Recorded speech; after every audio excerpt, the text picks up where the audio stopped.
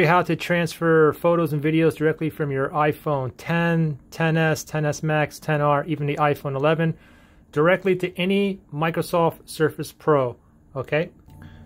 And we're going to be using a cable, okay? Now, the first thing to note is, depending on um, if your Surface Pro has a Thunderbolt or not, but I can use two different lightning cables here, okay?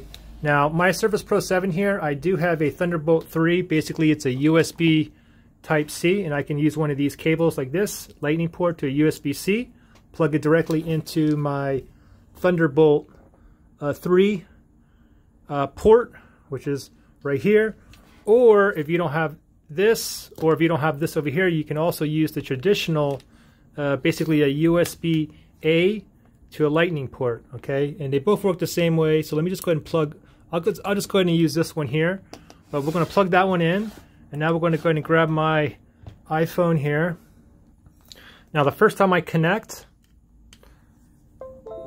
I heard something on there. Now let me go ahead and, I have to log in first, so let me go ahead and log in here. As soon as I log in, I should get a message up here. It says allow this device to access photos and videos. I'm going to go ahead and click on allow right here. Okay, now I'm going to go ahead and set this down now what I have to do is go into my File Explorer, that little folder down there. So let me go ahead and go down here. Let me go ahead and click on that, and then this here will pop up. Now we have to do from here is you have to go down to right here where it says this PC. So we'll click on this PC. And now it says Apple iPhone right here. So let me go ahead and double click on that. And then internal storage, let me double click on that. DCIM, double click on that. And now I only have one folder here. I don't have many photos or videos on here, but you may have many other folders in here as well. Okay, anyways, I'll, I'll double click on this folder here and you can see some photos and videos right here. And if you want to transfer it, you can just simply just drag and drop it onto your desktop.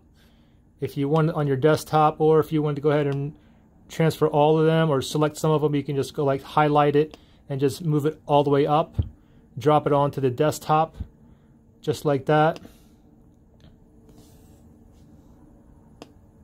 And then you can see all of them is transferring right now. Now another easier way where what you might want to do is if you want to put on your desktop what you can do is just go, go just put, put the mouse there and just create a new folder. Go ahead and right click and then you can go down to new and then go to folder and then I can basically highlight all these and I can drop this directly into the folder as well. Let's drop it in there just like that give it a second here. You can see that it is uh, transferring some photos and videos.